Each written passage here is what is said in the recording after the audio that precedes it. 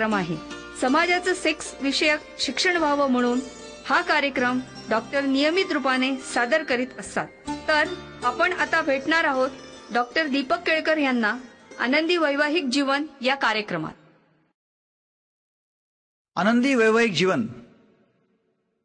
कामजीवनातील समस्यांवर प्रकाश टाकणारा प्रत्येक स्त्री पुरुषाने पहावा.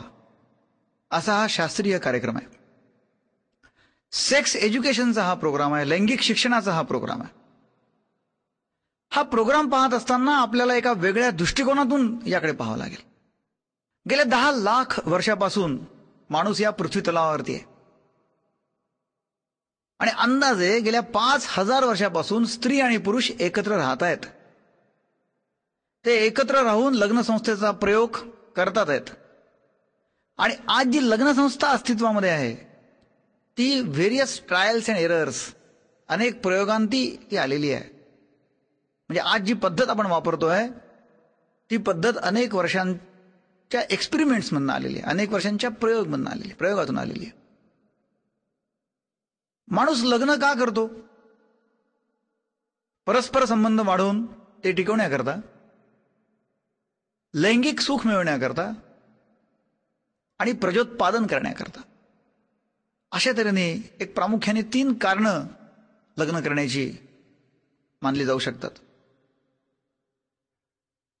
त्याशिवाय आणखीन एक कारण आहे. मुलगा ऐकत नाही वाह्यात आहे लग्न करा म्हणजे सुधरेल. मुलाला मनोविकार झालाय मंदबुद्धी आहे लग्न करा म्हणजे तो सुधरेल. दारुडे आहे लग्न करा म्हणजे तो सुधरेल. अशा अनेक कारणांकरता लग्न केलं जातं. या ठिकाणी मला एक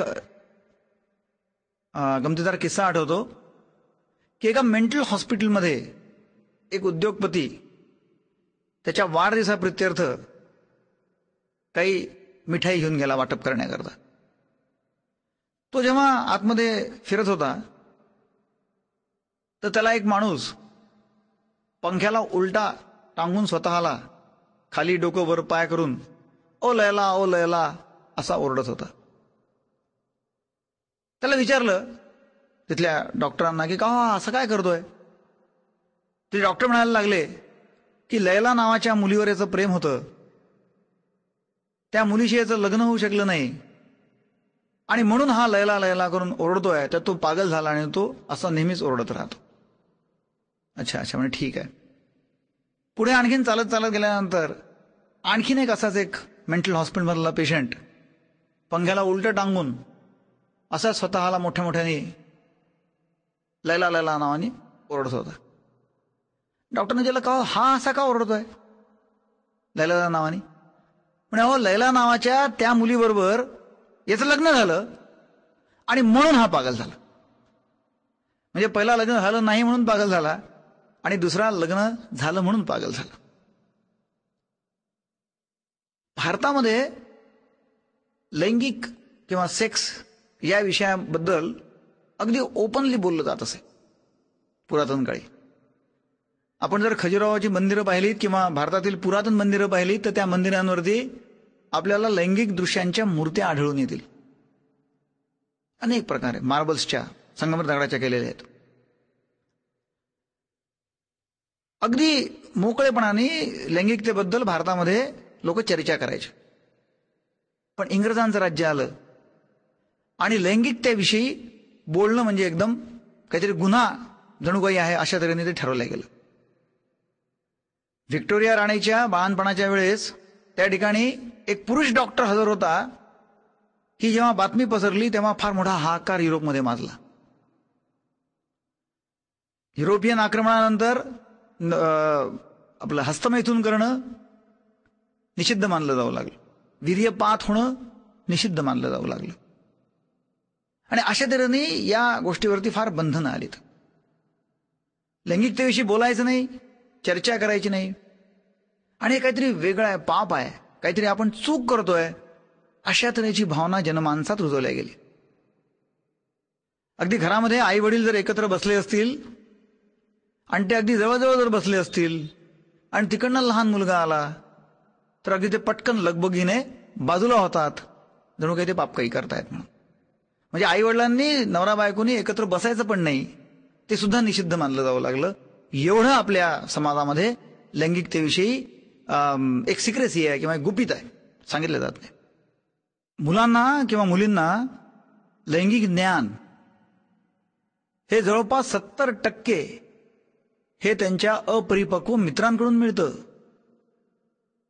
चाळीस टक्के लैंगिक ज्ञान हे त्यांना पुस्तकातून किंवा अश्लील मासिकातून वाचायला मिळतं. चाळीस टक्के मुला मुलींना ब्ल्यू फिल्म्स किंवा बाकी चित्रपट जे आपण पाहतो त्यातून त्यांना मिळतं. आणि दहा टक्के फक्त मुलांना त्यांच्या पालकांमार्फत किंवा शिक्षकांमार्फत लैंगिक ज्ञान मिळतं. म्हणजे खरं सायंटिफिक नॉलेज जे आहे खरं जे सेक्स एज्युकेशन जे आहे हे दहा टक्के मुलांनाच खऱ्या अर्थाने व्यवस्थितपणे मिळत असतं. बाकी लोक तर आनंदी आनंद आहे. आणि अशा अवस्थेमध्ये जेव्हा आपल्याला काहीच माहीत नाही आहे तेव्हा आपलं लैंगिक शिक्षण जे आहे हे एक रस्त्यावरच्या जनावरांपासून सुद्धा मिळू शकतं. जेव्हा रस्त्यावरचे जनावरं किंवा प्राणी आपण संभोग करताना पाहतो त्यातून सुद्धा लोकांना काहीतरी ज्ञान मिळत असतं. आणि जेव्हा अशा रीतीने आपण लैंगिक ज्ञान मिळवतो तेव्हा खराच आनंदी आनंदच त्यामध्ये मानता येईल. थोडंसं आपण एक लैंगिक अवयवांबद्दल माहिती करून घ्या. आपण जर पुरुषांचे लैंगिक अवयव जर पाहिले तर आपल्याला कळून येईल की जे एक्सटर्नल जेनिटेली आहे म्हणजे पेनिस आहे किंवा त्याला लिंग म्हणतात मराठीमध्ये म्हणतो आपण लिंग तर यामध्ये समोर एक सुपारीसारखा भाग असतो त्याला ग्लान्स पेनिस असं म्हणतात. ते जे पूर्ण लिंग जे आहे याची लांबी साधारणतः कोणामध्ये एक इंच ते कोणामध्ये चार इंच पाच इंच अशी असू शकते सहा इंच असू शकते. त्याच्यावर जी चांबडी असते ती चांबडी त्या ग्लासला खालून चिकटलेली असते त्याला फ्रेन्युलम असं म्हणतात. जे लिंग आहे यामध्ये तीन जाळीदार नळ्या असतात. कॉर्पस स्पॉन्जिओझम आणि कॉर्पस कॅव्हर्नोझम अशी त्यांची नावं आहेत. आणि या नळ्यातून एक मार्ग जातो तो मार्ग मूत्रमार्ग. आणि त्याच मूत्रमार्गातून वीर्य सुद्धा बाहेर पडत असतं. म्हणजे पुरुषांमध्ये वीर्य मार्ग आणि मूत्रमार्ग हा एकच आहे. ते वेगवेगळे नाही आहेत. आपण जेव्हा जेव्हा लैंगिक शिक्षण असं जेव्हा अनधिकृत लोकांकडे मिळवतो तेव्हा तेव्हा अर्थातच याबद्दल अनेक गैरसमज निर्माण होतात. उदाहरणं द्यायचं झाल्यास हस्तमैथुनाचं देता येईल. हस्तमैथून म्हणजे हाताने केलेलं मैथून ते हस्तमैथून पण आज हजारो लाखो तरुण असे आहेत की जे हस्तमैथून या आजाराने ग्रस्त आहेत.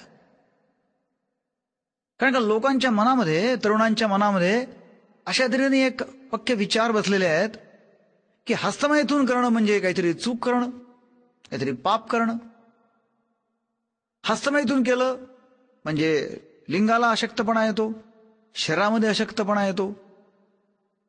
आणि आपण काहीतरी खूप मोठी चूक केली आपण ब्रह्मचर्य पाळलं नाही. अशा तऱ्हेचे विचार मनामध्ये येतात. एक माझ्याकडे एक बावीस तेवीस वर्षाचा मुलगा आला. म्हणाला डॉक्टर साहेब मला फार अशक्त वाटतं हो. सगळे हातपाय कंबर पाठ पोट सगळं दुखत आहे माझ्या लिंगातली ताठरता नाहीशी झालेली आहे. माझं लग्न साधारणतः एक महिन्यावरती येऊन ठेपलेलं आहे. आणि मला असं वाटतं की आता लग्नाला समोर जाण्यापेक्षा आत्महत्या केलेलीच बरी. त्याला जेव्हा मी कारण विचारली काय झालं काय झालं जेव्हा त्याला विचारत गेलो तेव्हा त्याचं मला मूळ कारण समजलं की साधारणतः पंधरा ते सोळा वर्ष वयापासून तो रोज किंवा एक दिवस आड हस्तमैथून करत होता. त्याला असं वाटायचं की आपण रोज रोज हस्तमैथून करतोय आपला वीर्यनाश होतोय आपण ताकद गमवतोय. तो इतरांना त्याच्या मित्रांना विचारायचा. त्याचे मित्र म्हणायचे आम्ही नाही एवढं करत भाऊ. आम्ही करतो महिन्यातून एकदा किंवा दोनदा वगैरे. आणि हा म्हणायचा की मला राहवतच नाही. मला करायचीच इच्छा होते. आणि मग एकसारखं हस्तमिथून करून करून माझा खूप वीर्यनाश झाला. आता मी कामातून गेलो डॉक्टर मला वाचवा. हस्तमैथुनामुळे काहीही नुकसान होत नाही. हस्तमैथुनात जे वीर्य गेलं ते सुद्धा शरीराच्या बाहेरच गेलेलं आहे. आणि संभोगात गेलेलं वीर्य सुद्धा माणसाच्या शरीरातून बाहेरच गेलेलं आहे. आणि अल्टिमेटली जेव्हा स्त्री उठून उभी राहते आणि जेव्हा बाथरूमला जाते तेव्हा ते बाहेरच पडतं. किंवा ते संभोगानंतरही ताबडतोब बाहेर येऊ शकतं. त्यामुळे हे प्रत्येकाने मनात पक्क असायला ठेवायला पाहिजे की हस्तमैथून म्हणजे काही पाप नाही ते काय आपण काहीतरी खूप अपराध केलेला नाही आहे ही एक नॉर्मल भूक आहे. पत्नी घरामध्ये नसताना पत्नी बाळणपणाकरता माहेरी गेलेली आहे किंवा आजारी आहे गावाला गेलेली आहे जेव्हा मनुष्य एकटा आहे तेव्हा लग्नानंतर सुद्धा सर्वच पुरुष हस्तमेथून करतात. लग्ना अगोदर केलं हस्तमेथून तर नॉर्मलच आहे. लग्नानंतर जेव्हा इंटरकोर्स किंवा संभोग पॉसिबल नाही आहे शक्य नाही आहे त्यावेळी सुद्धा माणसं किंवा पुरुष हस्तमेथून करतात आणि ते नॉर्मल आहे. हस्तमेथून किती वेळा करावं? हस्तमेथून कितीही वेळा करावं? त्याकरता असं काही बंधन नाही आहे की रोज एकदा करावं किंवा आठवड्यातून एकदा करावं असं काही नाही. कितीही वेळा करावं. भूक लागली की आपण जेवण करतो. हस्तमेथुनाची किंवा त्या सेक्सची भूक लागली की हस्तमेथून करावं आणि ते प्रत्येकाच्या स्वतःच्या शरीराच्या शारीरिक भूकेवरती शारीरिक सेक्सच्या भूकेवरती अवलंबून आहे. हा जो गैरसमज आहे हस्तमैथुनाचा यामध्ये असे अनेक विशिष्ट किंवा अनेक विविध पैलू आहेत. हे बोलण्याच्या ओघात मी पुन्हा मधून मधून आपणाला आपणास सांगेलच. लोकांना असं वाटतं की माझं वीर्य स्वप्नात जातं आणि वीर्य स्वप्नात गेल्यामुळे मला फार अशक्तपणा आलेला आहे. एक जण माझ्याकडे मुलगा आला म्हणायला लागला पहा डॉक्टर साहेब जवळपास रोज स्वप्नामध्ये माझं वीर्य जातं कपडे ओले होतात. मला फार अशक्तपणा आलेला आहे. मी माझ्या मित्रांना विचारलं ते म्हणायला लागले आम्हाला नाही जात. मला वीर्य जात आहे. मला अशक्तपणा येतोय. माझे हातपाय दुखतात आहेत. माझं वजन कमी झालेलं आहे. मला काहीतरी आता यावरती उपाय सांगा.